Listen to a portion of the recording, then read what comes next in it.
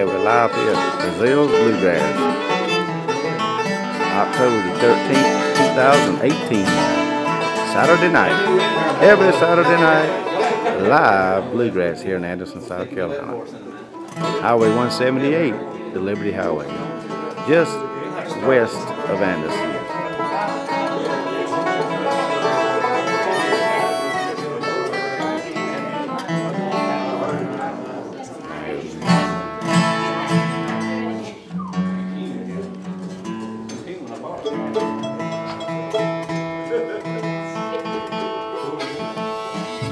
Oh,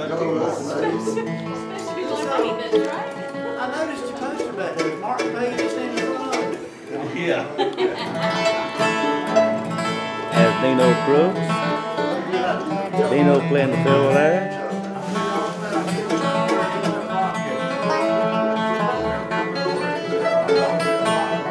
Deno owns Crooks and Sons. Aluminum and siding on Whitney Street in Anderson. That's Crooks and Sons. Deno Crooks out there. You need any uh, aluminum siding or vinyl siding, doors, windows? Get in touch with him. He's on Whitney Street. Been there a long time. Him and his son's running. See that Deno give you free commercials. You don't even know it.